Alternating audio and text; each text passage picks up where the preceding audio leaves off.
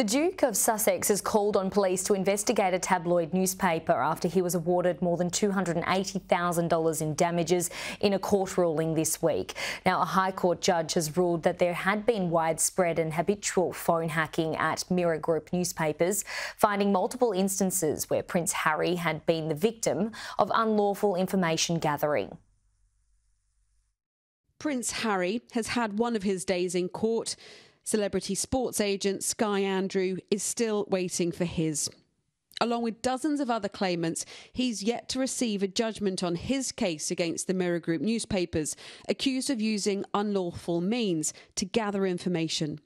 There are a lot of frustrated claimants out there who have been waiting to see what's going to happen. And um, over the past year, two years, three years, um, lots of stuff has been done in the background to bring it to this stage. Um, there were so many people who were just furious. Okay, it was a good day for the claimants. Prince Harry won his case. Great. Now, each individual claimant deserves to be dealt with in the right way. But for Prince Harry, the legal fight against the tabloid press goes on. He's joined by the likes of Sir Elton John and actor Hugh Grant on two other claims. One against the publisher of the Daily Mail, the others against the publisher of The Sun and the now closed News of the World.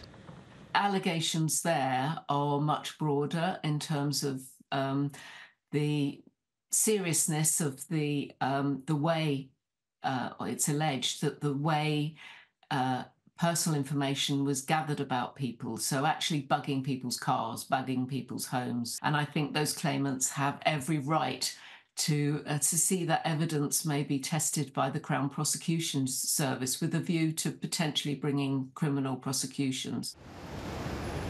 The Metropolitan Police says they are giving careful consideration to Friday's judgment, but right now there is no open investigation. But some former editors believe there will be intense pressure on journalists in positions of power.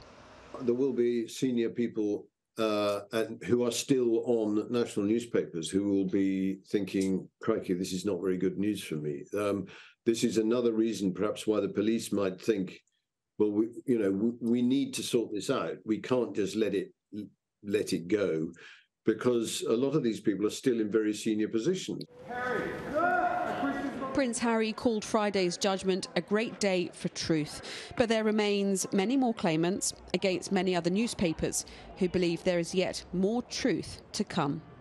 Katerina Vittozzi, Sky News.